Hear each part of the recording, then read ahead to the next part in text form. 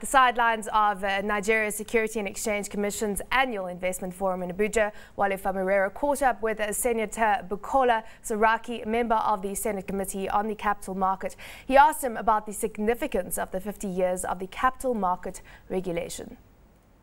Great uh, point in the history of the um, capital market, 50 years, and I think it's coming at the right time. Um, where we're all talking about transformation of this great country, um, talking about um, raising capital for infrastructure deficiencies. And you can't do all that without the capital market.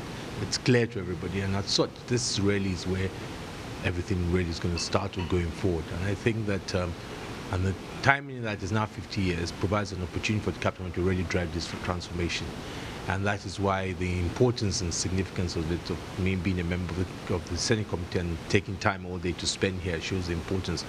Uh, we definitely, from the Senate and National Assembly at large, will be our plan really to really work closely with the um, SEC in trying to see how can we uh, make the capital market still more viable? How can we build on the reform that has gone through at the moment? Uh, how can we really harness the, you know, the demand that hasn't really re realized yet. What can we do to do that? And I think it's all about confidence building. So letting people know that the regulations are there, they're, they're, they're firm, and they're going to stay there. And that's the kind of support we intend to give to, to, the, to the stock exchange and company.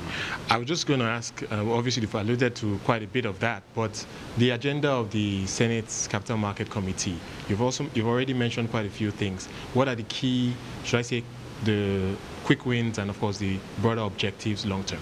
Quick wins, again, is that what do we need to do in ensuring that other sectors that I think are not yet as active in the capital market, if you what do we, what kind of incentives can we can we give to to the to the, to the regulatory body?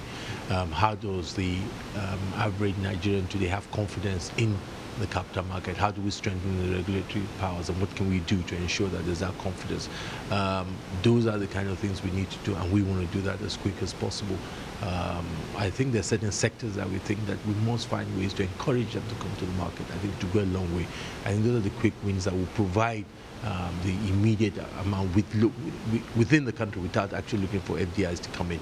Uh, I think that's the area we should, we should capitalize on.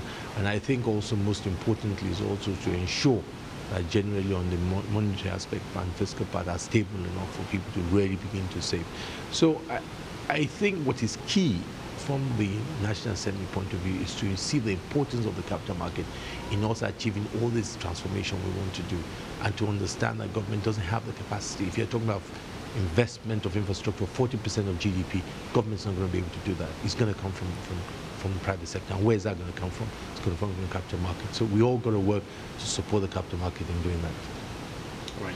How are we reading the um, the fact that right now foreign investors tend to dominate the market. Is that a development that is worrying the um, Capital Market Committee of the Senate right now? Or do you, do you see this as more of the transformation of the world where the world is a global village and even for investments, um, investments tend to flow wherever there is value? Well, I, I, I think let's worry less for now. I think let's worry less about that. I think I think we have if the um, the institution is strong enough to begin to look at the guidelines so that in, in future we're going to look down the line. Let's assume that we're able to get the capital market to move the way we want to move it. Then our concern, maybe 10, 15 years down the line, is whether those funds will be stable.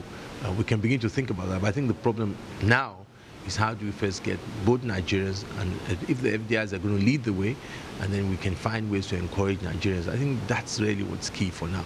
I don't think that's a great concern. I think the concern now is that we believe if in about seven years can we move the market from 40 billion dollars to a trillion and what do we have to do to go about in doing that i think that's that's really is the number one target now because that's what we need as well to invest in the infrastructure without that infrastructure as well the economy is not going to grow the way we want it to grow so if it's the FDI that's going to get us good there, I think we take it and we, and we run with it. And I think what we need to do is to ensure that there's stability and ensure that we don't lose their money.